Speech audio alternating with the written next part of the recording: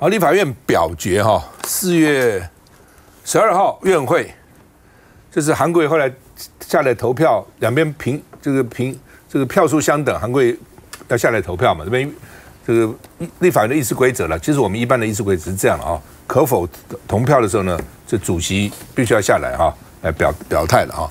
那柯建明就说那是一个重大的瑕疵，要韩国瑜彻查。什么重重大的瑕疵呢？因为呢，这个有一个原住民立委叫卢宪一啊，不是卢修一哈，卢宪一啊，差一个字哈。他哎，他是原住民，他是原住民立委哈。他那天在大陆哈，受邀去参加跟大陆的少数民族哦壮族的活动哦，他不在台湾，但是呢，立法院是表决要发那个卡，你到了。才能够发卡。第一次表决的时候，他有投票，所以当时我们就讲说：“哎，奇怪啊，国民党有五个人没去，有一个人呢，第一轮投了以后呢，就走就第二三轮没投，只投一次，所以变成五五缺席一离席这样啊。那搞了半天就这个卢宪一了哈。那所以呢，这个民进党就说这是坐票。”哦，那要求傅昆萁、韩国瑜出面道歉啊，所以国会改革，你们不是讨论国会改革吗？那你这叫国会改革吗？啊，所以呢，柯建铭就说韩国瑜螺丝散了，洪孟凯就说民进党的输不起啊，输不起啊。那那第一轮输了，第二轮怎么又第一轮平，怎么第二轮还平呢？因为江启臣冲进来，因为理论上就是基本上院长、副院长一般不参加投票了，江启臣不是不在，只是他觉得说你们既然如果票票够了，不需要我了嘛。哦，所以呢，第二轮的时候，他们发觉这个卢千一这个没去啊，江启臣中车投票，所以还是四十七比四十七，还是平。第三轮还是平哦，所以韩国才出手哦。那卢轩义有说了，我没有授权哦，所以帮我去投票，我没授权。那别人有人讲说他是不是长得哈跟那个丁学忠很像哈？他说哈，或是跟涂全吉很像，很像涂全吉。他说呢，仔细看呢也没有。跟我也不是那么像，而且说我的皮肤是二 B 级的，比较黑啊，原住民，皮肤也不像啊，他自自己自己自己嘲笑了哈，所以呢，肤色是二 B，应该没有人跟我长得一样哈，所以现在闹的一个，人家讲罗生门，现在变成卢生门哈，那所以呢，也有国民党委员说，意志员可能误认，把他认错了，但怎么回事？我们看一下，韩院长。请你要反躬自省，这个小事情造成超额增增倍，一点意思都没有。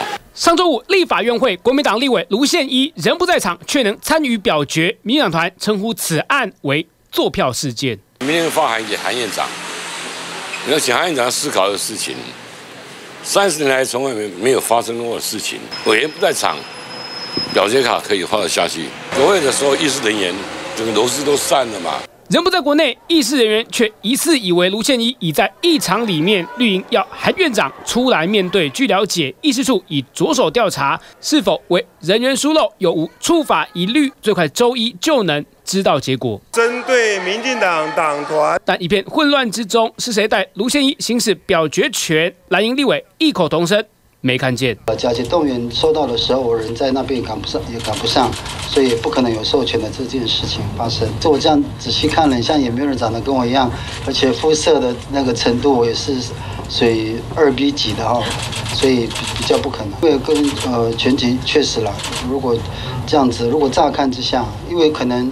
他们还对我们认识不不深，毕竟代为表决过去在立法院很常见，除了有国民党立委曾替王金平按下同意键，像是绿营立委庄瑞雄、林俊宪都曾有过这样的行为。而吴思瑶更曾被发现一人投四票，引发蓝营强烈抗议，但时任院长尤锡坤强调。没有问题，没有所谓做票，我们都按照议事规则。最有名的，大家就记得，就是当时的民进党的立委陈莹，他在那个电视台在上通告，可是同时间呢，在表决区器里面也出现他的名字。那你过去民进党这些行为，你有要不要去查？只是据了解，当然表决器属立院内规，不会触犯法律，充其量是观感问题。那听委员怎么看？现在说他可能是认错的人。认错的人就是说，把立委认错，然后呃，这个插了插错了表决卡。今天我陈廷飞，我一定拿的是陈廷飞的卡，不会是拿错的。那我即使今天去坐了任何一个人的位置，他跑上去也是陈廷飞的号志，所以我认为这个真的要查，然后否则会有这个罗生门。不论说最后呃票数是呃四十六比四十七还是四十七比四十七，我觉得这都其次，我觉得应该要查出的是说为什么会有所谓的这个突然之间人在国外而出现呃卢先义的名字，然后所以。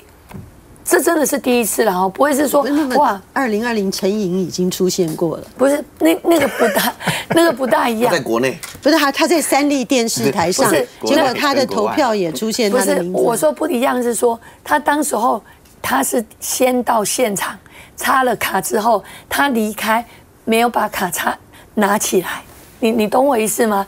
就是说他有去报道。然后有插了卡，卢宪义是人没报到，所以并没有拿到那一张卡，那一张卡还可以出现他的名字，所以这两件是不大一样的，所以我觉得真的是还是要查清楚啦。是长那么像吗？超像，我一定要公开道歉乌龙。对，我要先跟大家讲一下，那张卡其实不是发给立法委员，我们是到现场以后，议事人员就他现在看到的签到，然后还有他认为你已经到的，他就会去插那张卡嘛。那我自己本身就是人员去插的，对，议事人员去插的，不是我们。所以我个人觉得，我们要去取得卢宪一委员的卡片，几乎是不可能，一定是议事人员帮我们插上去的。但是我们也不要就责议事人员，因为真的很像，因为连常常，因为连常常跟立法委员见面的罗廷伟都闹乌龙，因为我在最前面嘛，我拿着反对，然后卢宪一就一直没亮，我就走过去卢宪一那边，你为什么不按？你要按呐，结果。他说：“我是图选局啊，啊，我哦，我这边呢，我有啊，图选机有量。我说对不起，对不起，我以为是卢宪一。看着图选机，然后我看着图宪机，我图图图图全图全机，讲说，哎，卢宪一为什么不按？你为什么不按？卢宪一都没亮，为什么不按？就他说他是图全机，我整个都觉得不是体委，所以那个图全机它是有亮，对不对？”对啊，对对对，卢先义有亮嘛？所以今天不是因为第二案没没亮，第二案没亮，今天不是我会生气。没有，现在就是说，我们虽然是议事人插的卡，他一定是有认，就是说他有报道才插那个，他们是从他们手上去看有报道的才留那一张卡。嗯，他有有可能吧？一个是故意的，这样就要抓了。一个是图权那个立生人，也许看到图权就帮他看到图权机，以为是卢宪一帮他插了。后来卢宪一那图权就说：“哎，要给我卡，要给他。”我不知道。如果如果两个长那么像，那这个图权机是桃园大园呐海线那边选出来的立委了哈。来，你怎么看？你你你抗议他们什么？我我说实在话了，所以民进党团现在真的是想要查清楚真相吗？还是只是想要又在转移焦点？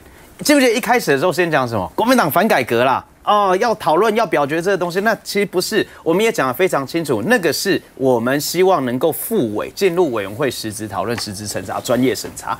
那看说带反改革这个风向没有办法带，然后刚好又出现这个卢宪义的这个事件，所以说当然又去扯这个。可是如果说大家真的去看的话，当天表决三个案，第一案是有这个所谓的卢宪义的一个状况，第二案、第三案是没有的，但是三案的结果是一样的。那既然三案结果一样的话，其实就不过程也许有瑕疵，但是结果没有影响。那你现在民进党还咬这个点，我说实在话，这就是有点你明明要翻页，你没有翻页，然后你自己输不起嘛。那这里最重要的是什么？最重要的是，我们就讲是说，立法委员没有办法主动去跟那个议事人员要那个卡，他议事人员是看到我们有在，大家跟大家再科普一下，看到我们有在。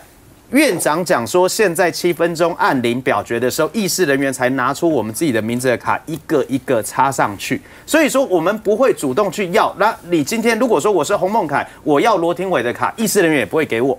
所以说，换言之，议事人员他就是把关好那个卡片，这个真的不存在所谓的什么冒领盗领的一个状况。所以今天是不是我自己推敲？因为我是党团干部，我坐在我站在最前面，我没有看到发卡的过程。但是我真的推敲，就是有可能是议事人员看到哪一个委员，然后他就以为是卢先一在场，所以他放进去。那等到第一案表决完之后，议事人员发觉是卢先一没有在场，所以再把它抽回来，有可能是这个情况。但是。分三个层次嘛，所以第一个层次就是这个问题。第二个层次确实议事人员已经是误认了，那他把它收回来。第三个层次假动本来就应该要全到啊，所以我上礼拜我有看到赵先生也在节目里面特别强调啊，就说没有错，我讲的对。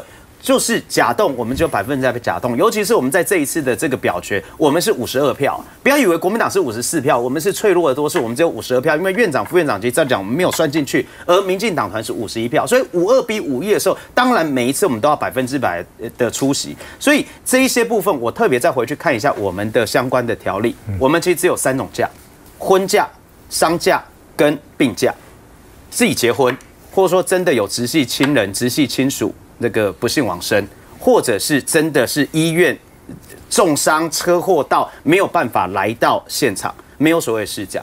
所以这一点很明确嘛，我们既然就已经定了游戏规则，我想之后每一次我们都会照这样的一个进行，我们自己用最高标准去建去要求我们自己，但是我们也要让大家知道，是柯建明现在针对的韩国瑜，其实某种程度上真的就民进党输不起，民进党要输不起，你真的想说认为用这样带风向，以为要把韩国瑜拉下水，错了，韩国瑜现在的这两个月在立法院。我个人认为，他才是真真正正把过去八年立法院没有搞好的螺丝松的地方好好拴紧的那一个人。抱歉，现在是两个环节出问题哦。一个就是说，可能一开始认错人，对不对？所以卡就就发下去嘛。卢宪可能是意思是意识人员可能误认这是一个。第二个更严重，对了，第二个更严重。第二个到底是谁去按？卢天立不在啊，那你到底是谁去按？这个要查清楚。所以就是在这个部分，这个这部分，所以是两个环节都要清楚。那那所以不是我另外也要讲。那你说第一个环节，当然韩国一定要查，他怎么会不查呢？那这个都有录影嘛，在立法院都一定会知道，最后大家一定会知道说是谁去按的这个，就跟刚刚在电视电视上看到的嘛。林俊宪去帮以前去帮忙按啊，对不对？吴思雅去帮忙按啊，所以这个真相马上就会出来。不过我不过这跟韩国瑜其实无关，无关了。韩国瑜要把它查清楚了，对了。不过赵大哥，我有个非常重要的建议啦。我现在反正不是立法委员，我觉得讲话比较客观呐。我觉得立法院这个帮委员插卡简直是陋习嘛！你要帮委员插卡干嘛？委委员没手吗？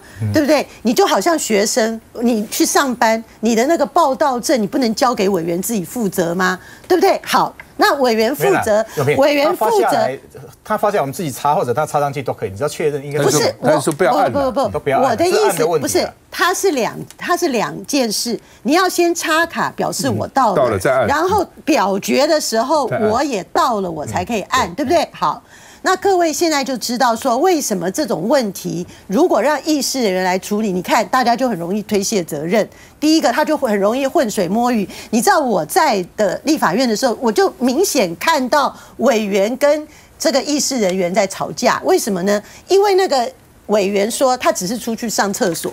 旁边的委员要表决了，因为我们那时候整天表决，表决到半夜，人都快昏头了，很很想睡觉。那那个人可能偷偷跑回去睡觉了。可是呢，旁边的委员说：“没有没有没有，他只是去上厕所，你不可以把他的卡查拿掉。”然后议事人员就在那边跟他争议，结果后来还是帮他按了。我要讲，这就是立法院的陋习啦。你简以后很简单，委员你出去尿遁，你出去抽烟，假装见选民，或者突然绕跑了，你通通你自己卡要拔走。你出去那卡就是你随身的，你进来了以后，你重新开始，你才可以投票。只有这样，我们才可以抓出来到底是谁。尤其啊，这大家不要开玩笑，现在票数非常的近，这种问题以后会层出不穷。你在一两票的时候，那是决定生死，这不是开玩笑的。